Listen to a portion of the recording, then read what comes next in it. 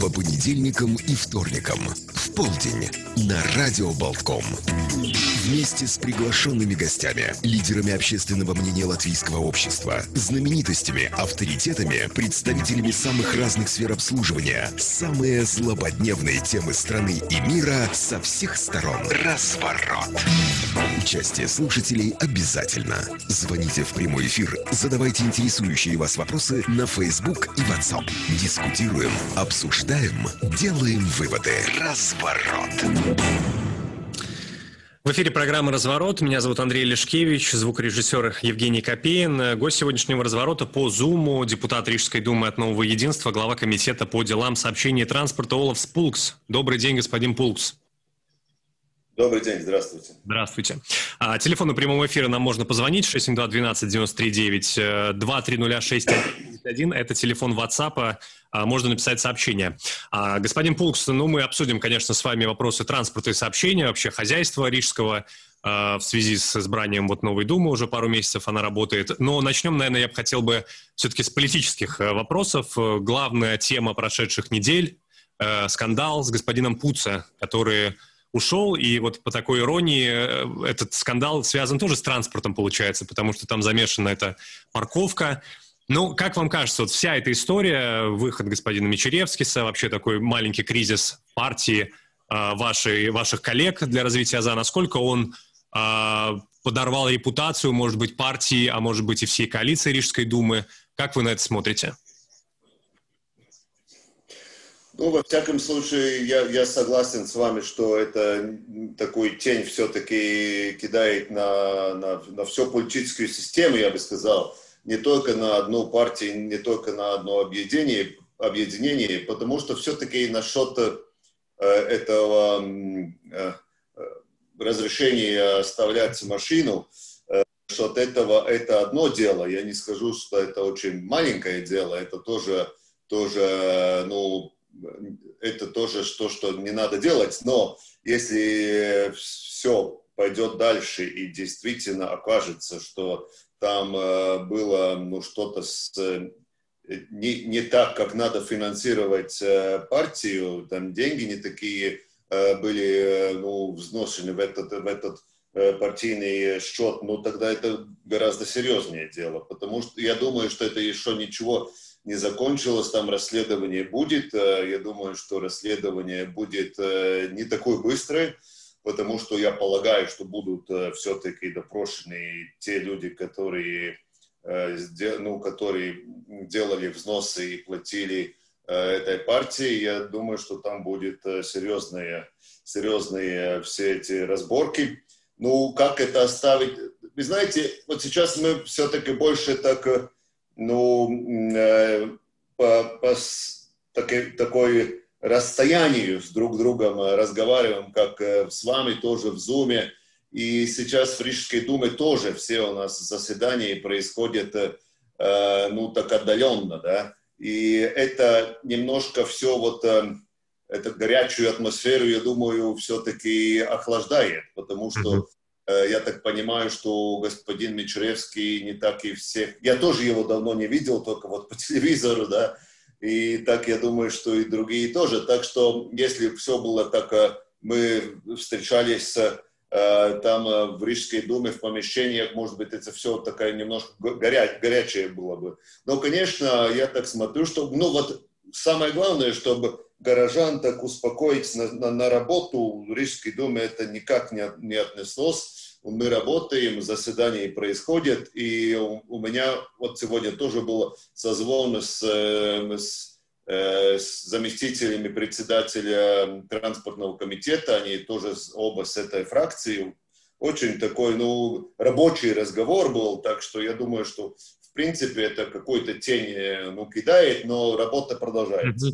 Ну, я вот должен, наверное, вас спросить. Получается, сейчас вот есть господин Мичеревский, который со своими утверждениями выступает, есть господин Пуция, понятно, который говорит, что это все неправда. То есть определенный все-таки раскол наметился. Э, я как бы не прошу вас э, там занимать какую-то позицию, но все-таки вы склоняетесь, получается, две правды, а две правды, как известно, все-таки не бывает, хотя, конечно, всякие точки зрения могут быть. Вы склоняетесь вот к какой интерпретации? Ну, я не, я не буду занимать э, такое судейское э, положение сегодня, потому что, я еще раз говорю, это очень серьезные, э, очень серьезные упреки, которые господин Мичревский сказал. Если это кажется правда, то это у нас э, по закону криминально судимое дело. Так что я не думаю, что сейчас... Э, я, я ничего там не знаю, я не, не участвовал в этих разговорах, так э, я не думаю, что мне надо что-то сказать. Но, конечно, вопрос, э, если человек сам это все придумал, ну, тоже так окажется, по-моему, не так уж все просто, но пусть к нам разбирается, я думаю. Угу. Еще такая вот э, деталь, которую хотелось бы просто, чтобы вы прокомментировали. А, многие отмечают, конечно, иронию, потому что господин Пуца был одним из главных борцов с, а, с мэрством господина Ушакова. А, вот, вы тоже известный критик э, вот того, той коалиции, когда вы были в, в оппозиции. И получается так иронично, что вот критиковали Ушакова за коррупцию. Здесь пока речь не идет напрямую о коррупции, но вот, вот эта вот ситуация с пропуском, вот как вы на это тоже смотрите? Нет ли в этом чего-то такого, не знаю, курьезно-кармического? Ну, конечно, есть. Конечно, есть. Но я сказал, я сказал бы, что это не первый, первый случай, когда что-то с этим пропуском э, случается. Я довольно долго в Рижской думе, я, я, я уже помню, были такие случаи, но, конечно, министра не было, чтобы министр был э, в это как-то втянут.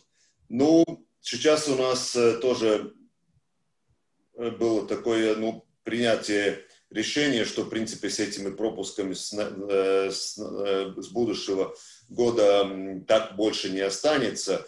Как будет и как будет компенсироваться депутатам эта э, работа, которая не работает и использует машины, это еще неизвестно, но я так понимаю, что так, как сегодня, так не будет больше. Комментируя вот этот вот отказ от пропусков, господин Стакис помимо того, что понятно, что это связано вот с этим скандалом, он сказал, что вообще это странная ситуация, до Рижской думы уже давно можно добраться более там дружественными, да, окружающей среде способами. Мне просто интересно вас спросить, вот насколько для вас это, например, весомо? У вас, э, ну, по крайней мере, на странице Рижской думы указано, что вы в Мару поживете, соответственно, вы, наверное, не на велосипеде туда ездите, это бы занимало много времени. Для вас существенно, вот, а, например, потеря пропуска? Э, я, я насчет велосипеда сказал бы, я очень, я живу 25 метров от границы Риги, я, и в принципе я с велосипедом езжу довольно часто, и это до Рижской думы, кстати, не так уж далеко от Марупы, там хорошие велодорожки есть, э, экологическая, очень хорошая поездка, так что можно это делать. Но я, я бы не хочу сейчас лицемерить об этом, потому что депу... особенно депутатов, я думаю, может быть, не для председателей комитета, потому что я все-таки довольно много сейчас э, провожу в, в работе на Шатрийской думе, но как, как раз э, депутатам из оппозиции и депутатам, которые э, еще работают в других должностных работах, потому что по закону депутат самоуправления в Латвии, он по совместительству совмещает эти все обязательства.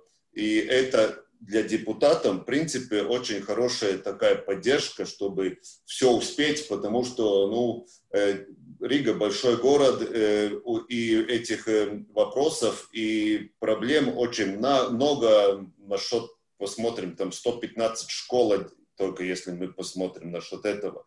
И они от, от, от Даугавгрива то до Юглы, да, и если, конечно, это все можно сделать и на общественном э, транспорте, но это было бы быстрее, если это делать машиной.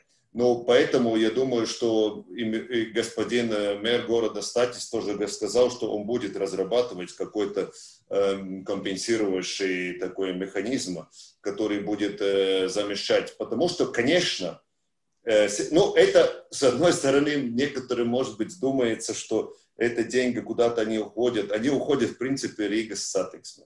Это была какая, ну, такая поддержка и тому подобное, и тоже Ригас Сатиксме. И мы знаем, там 120 миллионов э, э, денег налогоплательщиков идет от рижского бюджета я не хочу сказать, что это очень маленькая сумма, которая за этих пропусков, но это наверняка надо будет все равно как-то как-то вместе, вместить и, и как-то другому, другому компенсировать Ригас Сатиксме. И, конечно, мы можем сегодня и гораздо легче уточнить, действительно ли депутат э, оставлял машину, не знаю, там недалеко от от э, учебного заведения, и, и там э, был, у него была рабочая встреча, он мог заплатить только э, за, за это время, которое там было. Так что это все можно сделать, и, и, и я думаю, что мы какое-то решение э, об этом э, все-таки придем. И как раз, как раз мне звонили депутаты из оппозиции, они довольно были э, недовольны этим, что такие, э, такие вообще ну, перемены сейчас э, думается. Но я не хочу кидать камень только в их э, сторону. Я думаю, что и депутаты от других партий тоже сейчас ждут, как, какие будут компенсировальные механизмы. Угу. Депутат Рижской думы от Нового единства Олаф Спукс у нас сегодня по Зуму. А вот, опять же, чтобы политические вопросы уже оставить в стороне и потом говорить о хозяйственных, э, тоже такой вопрос, касающийся оппозиции. Когда была избрана Дума, господин Стакис хотел пойти на такой благородный шаг и отдать оппозиции э, посты заместителей, вот, которых вы упомянули, с которыми вы разговаривали, заместителей комитетов. На что вот партнеры, в том числе ваша партия, сказала, что нет, недопустимо. Господин Кирсис тогда вот так выразился жестко, что какие посты можно давать госпоже Жданок, например. Вот как вы, ну, по всей видимости, вы разделяете эту позицию, но как вы видите вообще в таком случае сотрудничество с оппозицией? Все-таки это тоже избранные рижанами депутаты, так же законно, как и вы. Да-да, я с вами согласен. Я думаю, что, э, в принципе, это тоже я вижу своей задачей, чтобы всех депутатов, которые избраны и работают э, в транспортном комитете, чтобы они были, э, ну, как сказать, в работе, втянуты в эту работу, чтобы они не были как-то отстранены от этой работы только потому, что они, может быть, избраны из, из других партий. И у меня сейчас, я, я всех, которые были такие предложения и от депутатов э, господина Радзевича, от господина Морозова, э, господина Фалькова, мы с ним встречались, довольно долго разговаривали, он, он долго тоже был руководителем этого комитета, и также я получал письма от господина Кузьмина. Так что все эти, все эти предложения, все эти письма рассматриваются, и все, которые будут э, хорошие и такие конструктивные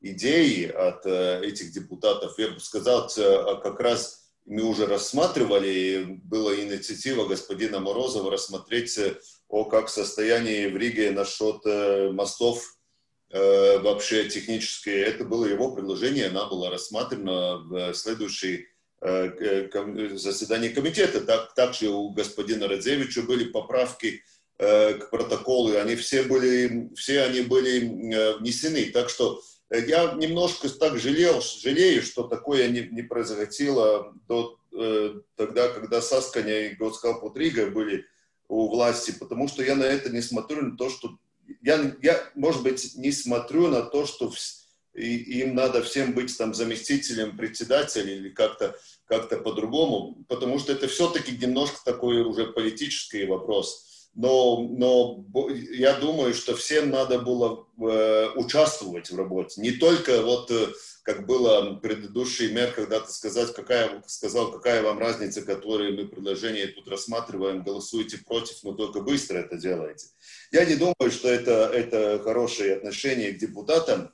А насчет э, заместителей, ну, не было даже других кандидатур, так что все, которые были эти двое э, выдвинуты, они, они были утверждены. Так что Э, тут надо только, это, я, я знаю, вот господин Статис такое предложение э, сказал, но вы знаете, тут мы когда-то даже и не выдвигали никогда своих э, представителей на, на заместителей, потому что это все-таки тоже можно рассматривать как такой политический подход, который вот мы такой даем поддержку э, правящей коалиции, ну, когда мы были в оппозиции. Я тоже мэру сказал, что надо с, этой стороны тоже посмотреть, потому что, может быть, есть какая-то партия, которая даже не хочет выдвигать своих представителей, чтобы быть, ну, там, заместителем э, этому или другому председателю комитета. Так что это, это, не, это так невозможно сказать, что мы можем обязывать кого-то. Нет, Конечно, нет, а, я не могу сказать, э, что э, если, мы, если было такое предложение, ну, давайте мы вас утвердим, то они бы не, не выдвигали. Ну, конечно, такое было, что, что никто не, не, не было предложений. Я, не, было, не было никакой, я лично, лично, у меня не было бы никаких э, таких претензий, если кто-то там из оппозиции тоже был бы заместителем председателя комитета по транспорту. Хорошо. А, на прошлой неделе вот как раз были подведены итоги конкурса по мобильному приложению для Ригас Сатиксме. А, такая вещь достаточно долгожданная, сто процентов я как сам, как рижанин могу сказать, потому что вот эта вот э, цифровая составляющая покупки билетов в транспорте у нас она просто и не была, и уже много лет э, все спрашивали, когда же. Но вот сейчас э, подведены итоги конкурса. Расскажите, вот на чем в итоге остановились депутаты, когда это можно ожидать, как это будет выглядеть и работать? Вы думаете насчет этого QR-кода, да? Да. да. Ну, конкурс закончился. Я так понимаю, что договор тоже готов, но еще не подписан. Во всяком случае, э, в прошлой неделе еще не был э, не подписан. Я надеюсь, что в этой неделе это будет, потому что Э, все равно только в марте мы можем ожидать, э, когда это может э, уже работать полностью. Но это довольно что... скоро, так или иначе. Я, я не слышал. Довольно скоро. Март это уже, в принципе... Да, это я с вами согласен, но я лично хотел бы побыстрее, потому что это как раз вот для вас и для таких людей, которые, ну, молодые, мобильные, люди, которые, ну, сегодня это вообще стыдно, что мы можем в интернете покупать билеты только на завтра. Ну, это, это уже, ну, это, это, это, печально и стыдно. И как раз вот это было бы на, на ту аудиторию, которая могла бы э, заплатить полностью за билет, потому что у нас только уже меньше, чем третья часть тех, которые едут, вообще платят полный, э, полную стоимость билета, да по-моему, там уже 20% только осталось. И это было бы вот для тех, которые действительно, вот, ну, представим, там плохая погода, ему надо проехать там одну-две остановки, и он э, запрыгивает в троллейбус и может э, с телефоном этот, э, этот билет очень э, выгодно и свободно купить. Да? Так что э, я, я на это смотрю очень... И, и еще что, в чем это отличие позитивное, то, что это другая система, чем это Рига с карты. Уже мы, вот от монополии, монополии мы уже так, э, э это от, от э, ну, э, разрушаем с этим шагом. Поэтому я на это смотрю очень, очень, э, очень положительно и думаю, что э, мы вообще должны, по-моему, довольно быстро отдать команду Рига Сатиксме, чтобы они думали о новом новом конкурсе насчет э, новых, э, новой системы билетов. Потому что Рига с карты... Э, я был в Рижской думе, когда ее 15 лет или 4, да, 15 лет тому назад вообще эта система появилась. А тогда она, кстати, была очень прогрессивной системой и очень такой, ну, довольно, ну, уже будущее смотреть. Но сегодня, я думаю, это довольно, ну, так Э, ну, ограничает, чтобы человеку надо там покупать какой-то э, талон ему специальный. Вот э, вы сказали как раз насчет этого QR-кода, там телефоном заплатить. А почему не банковской картой заплатить? Ну, я хотел вас спросить, на самом деле, об этом. Да, почему не банковской картой заплатить? Ну, чтобы это мы не можем одним росчерком пера вот это все сделать. Это надо все-таки сделать закупок, конкурс, и посмотреть самый выгодный. И по, по, если QR-код у нас вот 4 месяца где-то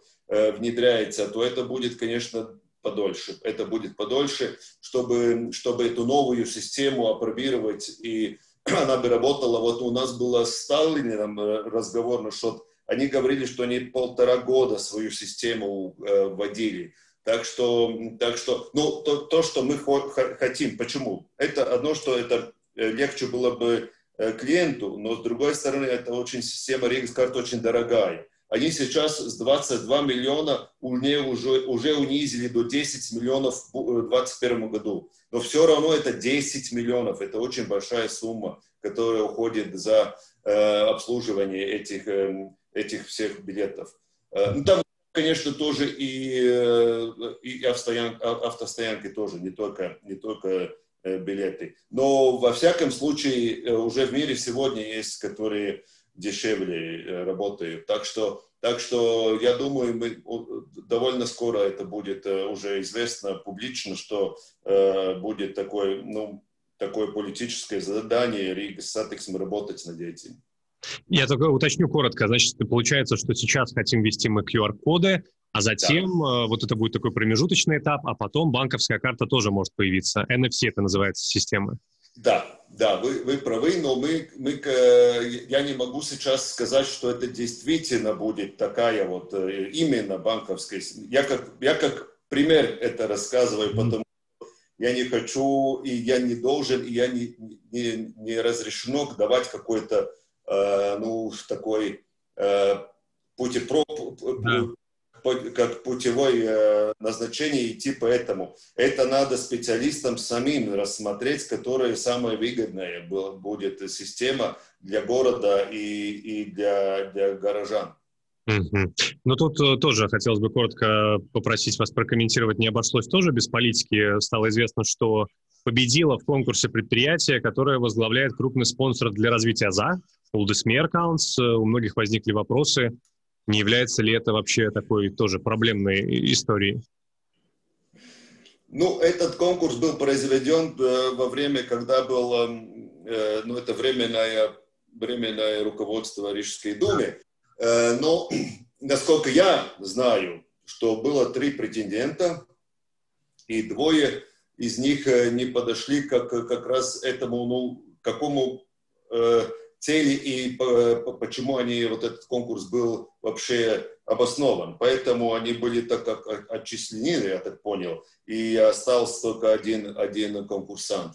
Ну, это Рига Статикс решила. Э, я, если есть какие-то э, что-то что там ну, так э, не сделано, как по закону надо, надо с этим бороться, но я как, э, я как политик, я как руководитель этой ну, транспортной сферы, я очень хочу, чтобы побыстрее это все происходило. Но, конечно, если надо будет время, чтобы кому-то там посмотреть и еще, не знаю, там поконсультироваться, не было ли какие-то там ну, проблемы насчет э, этого, ну, с прозрачностью, прозрачностью и всех этих дел, может это еще посмотреть, но я сколько я знаю, это довольно уже долго идет этот конкурс. Он был тоже э, оспорен несколько раз, так что не так гладко он уже идет. Вот господин Кирсис, ваш однопартиец и вице-мэр, отвечающий тоже за транспорт, э, когда он был избран на эту должность, заявил о довольно амбициозных планах – нарисовал такое вот как будущее Риги э, в сфере транспорта. Там присутствовало паромное сообщение между Вестмилгрависом и Болдераем, присутствовали скоростные автобусы по улице Деглова до границы, э, присутствовал, значит, центр мобильности в Гаркалне. А насколько вы согласны с такими планами? Что из этого вы считаете приоритетным? И таким образом, что может быть реализовано тоже в какое-то ближайшее время? Ну, в принципе, все приоритетное, то, что вы на, назвали, я думаю, что насчет этих э, мобильных пунктов, э, я думаю, это будет не только в Гаркалне. Это будет не только в Гаркалне. У нас было и такое э, собрание насчет э, вообще как сотрудничать с, э, с Перигой, потому что это у нас э, не секрет, что почти вторая Рига, ну, по, по численности, приезжает работать каждый день э, в Ригу.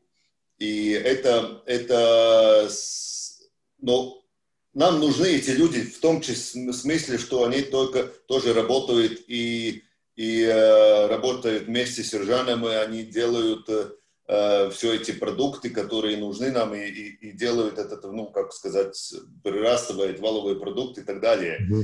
С другой стороны, это ну, большой такой натиск на всю инфраструктуру города Риги. Поэтому я вижу, и я очень жду вот этих э, новых электричек, которые могут быть в 2022-2023 году. И когда они появятся, там будут э, э, этот э, список э, поездов, он будет такой интервальным графиком, там через 10-15 минут. И тогда не только в Гаркалне, тогда, я думаю, и в других э, всех так, пририжских поселках, uh-huh. городов мы будем э, совместно делать эти мобильные пункты, могут оставлять свою э, частную машину или, я не знаю, приезжать на автобусе туда, на, этот, на эту поездную остановку, приезжать на велосипеде, приезжать на, на электроскутере или как, как они хотят – и присаживается в электричку, и тогда приезжает в Ригу, и там тоже вот такие мобильные пункты. Почему вот, вот например, если человек живет в Елгаве, он работает в Риге, он каждый э, понедельник по пятницу едет работать в Ригу. И, если он, например, работает э, в Пардауге, он может, э, он может э, покупить, купить себе э, э, месячный билет на, на поезд, он может себе купить и э, такую ну, возможность ехать на электрической, электрической машине, которая будет его ожидать в мобильном пункте вторник Калнце. И он таким способом он едет э, на свою работу. Он, конечно, из вторника может ехать дальше на трамвае или троллейбусе, тоже тоже и, имеет платить за это, это можно все заплатить в телефоне, например, да, и э, может от, на, на какой-то электроскутере в вторник конце пересаживаться. Это как ему будет выгоднее. И так, я думаю, в Риге мы, мы можем так ориентироваться больше на таких микромобильных пунктов, где пересадка с поезда на уже Э, какой-то транспортный вид, который вы будете использовать э, в Риге. А вот эти частные машины, больше я так смотрел бы на то, что они были бы оставлены уже за пределами э, города Риги. Конечно, конечно, у нас тоже есть горожане, которые едут со своими машинами по Риге, и там нужно, нужно посмотреть, как, как им сделать быстрее этот все переезд. На, на что я намекаю? Потому что я думаю, что нам надо уже привыкать к тому, что э, я вижу свою цель, чтобы в Риге от пункта А на пункт Б надо будет, можно при, э, пресечь не более чем 50 минут.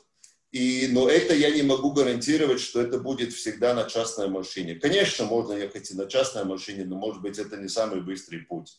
Вот это, это все совместить в таком, э, ну, как сказать, Э, в цепи. Вот это я, я вижу будущее, как мы можем строить нашу транспортную систему. И там очень хорошо в, входит этот, как вы сказали, метробус, mm-hmm. который может идти до, до Икеа, и там уже другие тоже, там, декатлоны и так далее, которые уже люди, наверное, будут использовать эти. Не только там, там едем через Турцию, Цепляны, жилые массивы, и вот эти все, все, а, конечно, лучше было бы там трамвай. Но трамвай это, ну, дороже, и, и это, ну, это дольше надо строить.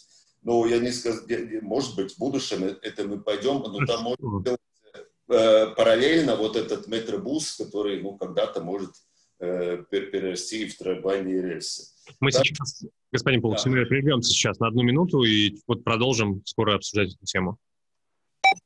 Квартира в Акациас. Это твое зеленое убежище в мегаполисе. Индивидуальная система рекуперации воздуха обеспечивает непрерывный обмен свежего и чистого воздуха в квартирах. В Акациас система обеспечивает хорошую вентиляцию и при закрытых окнах, а также снижает плату за отопление. Чистый воздух – это крепкий сон, хорошая работоспособность, отсутствие неприятных запахов, сырости и плесени. Выбери квартиру в Акациас, самом энергоэффективном комплексе 2020 года. Подробнее akacias.lv. Уже есть планы на выходные? Делай покупки в Акрополе по вечерам на неделе. Дружественные цены, крупнейшие и единственные в Латвии магазины известных брендов и все для повседневных покупок. Акрополе – столица шопинга и развлечений. Банана. Помидора. Вместе, вместе. Шеф Лука, когда готовишь, не путаешь овощи и фрукты. Пойдем выберем тебе наиболее подходящие очки. В оптиках Филман проверь зрение бесплатно, оцени самый большой выбор качественных очков. И мы позаботимся о них бесплатно в течение аж трех лет. Очки и проверка зрения от 55 евро. Подробности в салонах оптики имеются ограничения по силе очковых линз. Оптика Филман. Мы знаем, вы слушаете. Радио Болтком. Продолжаем разворот. У нас в гостях депутат Рижской думы от Нового единства Олаф Спулкс, глава комитета по делам сообщений и транспорта. А, господин Пулкс, хотелось бы поговорить о велоинфраструктуре и велодорожках. Тема тоже такая чувствительная и важная. И, конечно, в первую очередь, вот уже и вопросы нам в WhatsApp написали, это улица Чака. На Чака в очень таком скором порядке были созданы вот эти велодорожки, а, что вызвало, во-первых, это вызвало, конечно, в первые дни пробки, что, конечно, не было чем-то удивительным. А, вот. А, кроме того, это вызвало недовольство, конечно же, автомобилистов в первую очередь, ну, некоторых других рижан. Но вот вопросы у всех возникают, да, почему, для чего, как вы это видите, нужны ли они там и так далее. Да, ну почему велодорожка сейчас появилась как эксперимент? Это многие спрашивают, и, конечно, для того, чтобы посмотреть, что на улице не, не, не лето и, и, даже не весна, да. и сейчас сделали вот этот эксперимент. Ну, тут два, два, две причины. Первая, насчет этого эпидемии ковида, есть люди, которые хотят, не хотят ехать в общественном транспорте, но у них нет э, своих частных машин, и довольно охотно ездят на велосипедах, но другое есть то, что только что сейчас в ноябре закончилась эта укладка асфальта нового. И все-таки те автоводители, которые не хотели э, сидеть э, во время ремонта в этих э, пробках, они уже в, в себе на, начали, на, ну, ну, как изначально на, как-то посмотрели и начали ездить другими путями. И мы не хотели, чтобы они бы вот вернулись э, на эту улицу Чака, а вот э, это как раз экспериментировать э, то, что они уже сейчас нашли другие дороги. И сейчас эксперимент начнется 2, нет, 1 декабря на 4 месяца. Насчет этих, то, что было пробки в 11 ноября, день Лачкурсиса, да, это было к сожалению, такое, потому что все-таки еще там были ремонтные работы, там э, они красили этот э, полосы еще, и как раз это те, которые, ну, я, я сейчас извиняюсь, конечно, тем людям, которые они были должны им э, ждать э, в общественном транспорте довольно долго э, в этом вечере, но это, это был единственный такой вечер, долго надо было ждать. Но mm-hmm. сейчас уже сделано у нас э, выявилось, что главная проблема это как раз вечером, когда люди после работы едут э, уже с центра э, в Пурцемсе дальше. Ну, там работает насчет э, сигнала луксофоров, чтобы его так переориентировать, чтобы было быстрее бы выехать. И с другой стороны, у нас ну, там, там немножко тоже э, мешают такие, которые едут, например, вот эти межгородские автобусы, которых тоже водитель продает э, билеты, и там э, очень долго мелочью э, там считает и так далее. Это все уже удерживает, удерживает это ну, общение. Uh-huh. Я хочу сказать, что у нас есть от целью drošības дирекции ЦЗД аудит, который сделан. И они, они, они сказали, что вот невозможно сделать четыре полосы на улице Чака то, что там когда-то кто-то ездил, как якобы в четырех полосах, это э, они сказать, что против нормативных актов, и там э, невозможно по, по безопасности, чтобы не было бы безопасно ехать, это делать. Поэтому я хочу огорчить всех, которые думают, что если бы не было велодорожки, то там было бы четыре полосы. Нет.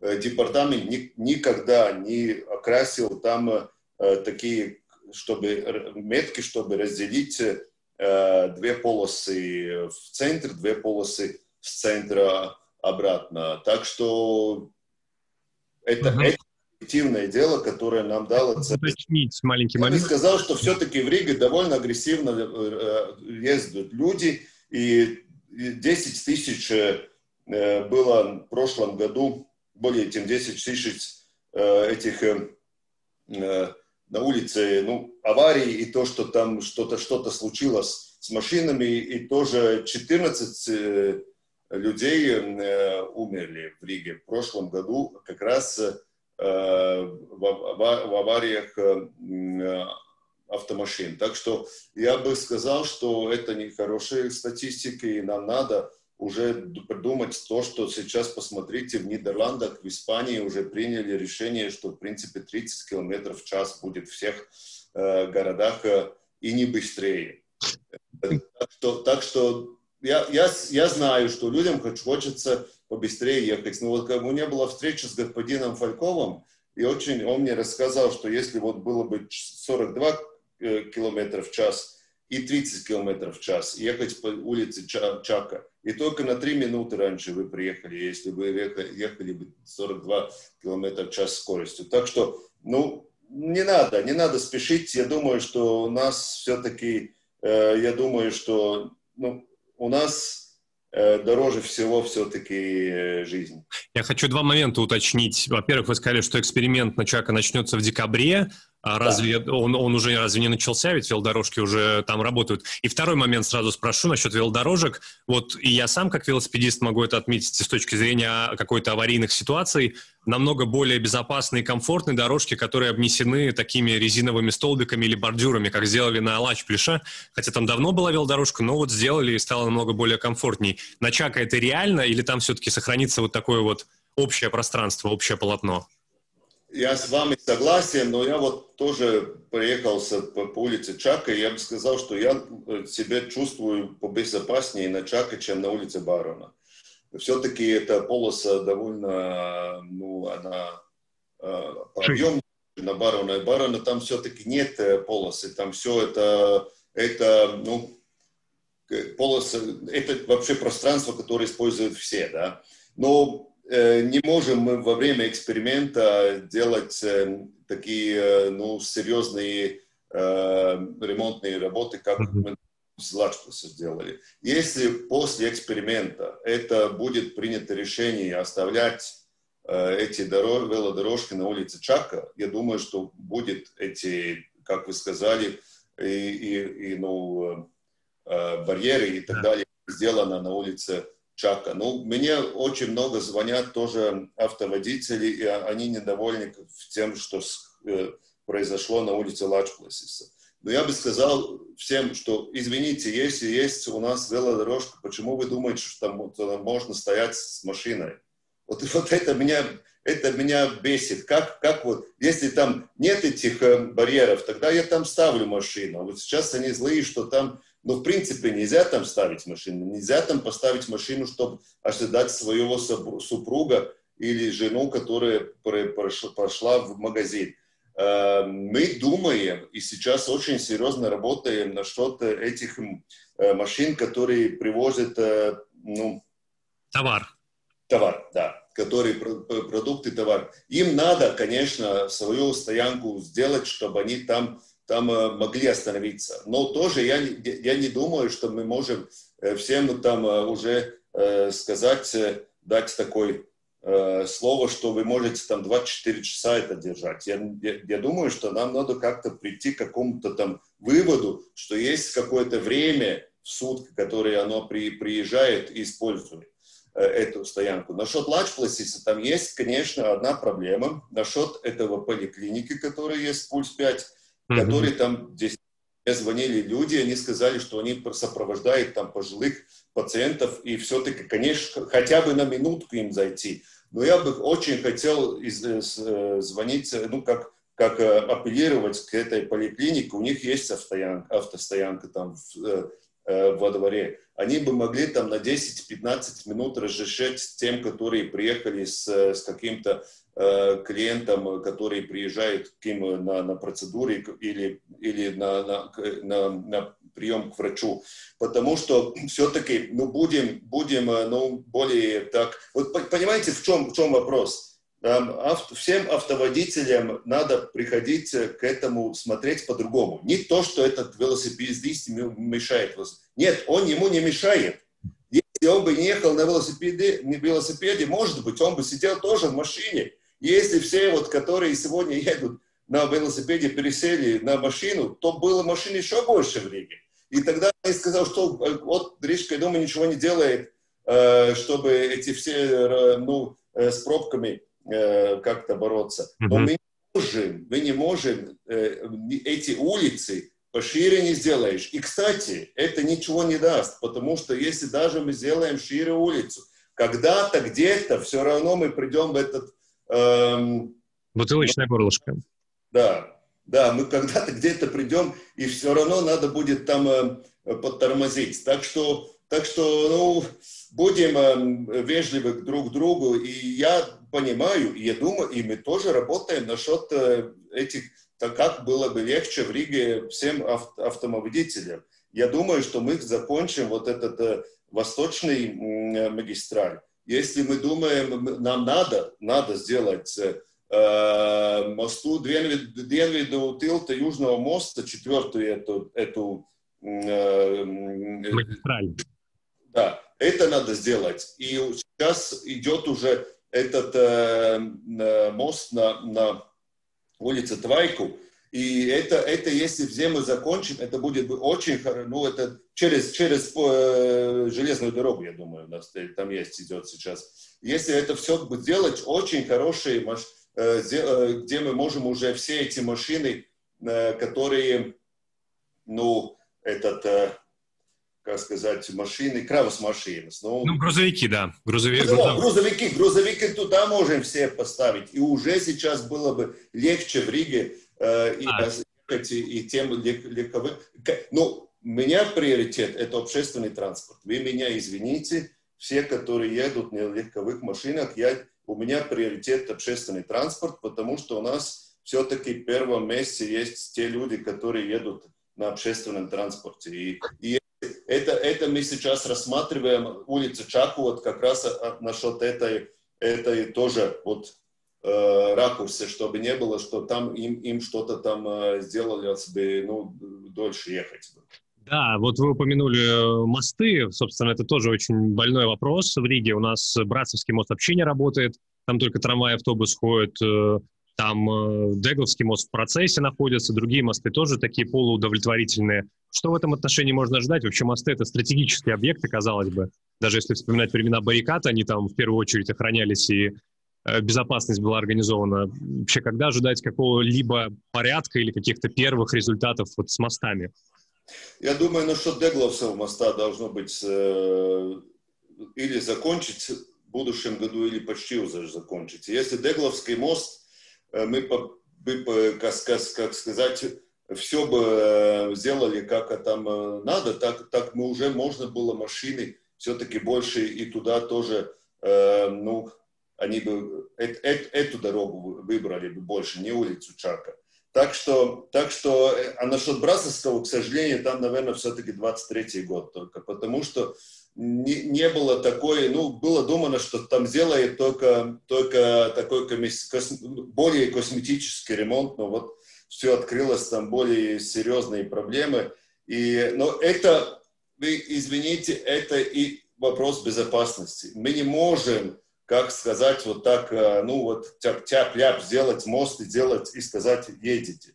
Все-таки там надо, надо очень серьезно, чтобы, э, не дай бог, что-то не случилось. Спасибо вам, господин Пулкс. Олаф Пулкс, депутат Рижского от Нового Единства, был у нас сегодня в развороте. Спасибо вам еще раз и всего доброго. Спасибо. До свидания. Всего доброго. Радио Болткома.